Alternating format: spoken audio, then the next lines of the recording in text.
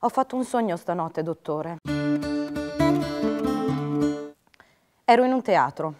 Mi chiamavo Giulietta e avevo 15 anni e la mia famiglia organizzava una festa in maschera perché voleva farmi conoscere questo giovane di nome Paride. Ma mi imbattevo in un ragazzo stupendo che si chiamava Romolo, Romano, Romeo. Ecco, Romeo. Era subito un colpo di fulmine, ma all'improvviso cominciava a cadere della spazzatura dal cielo su di noi.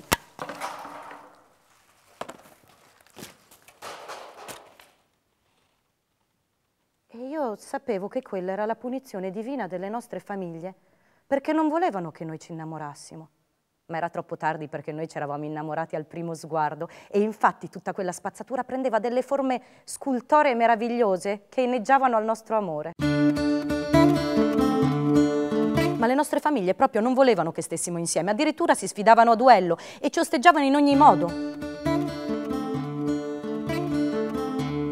Io ero diventata verde di rabbia. Poi però mi trovavo su un balcone da sola e Romeo non c'era. E in quel momento guardavo giù dal mio balcone e lo vedevo che stava facendo il giocoliere per me. E io ero ancora più innamorata. Che cosa significa, dottore? Non lo so, io mi sento come contaminata.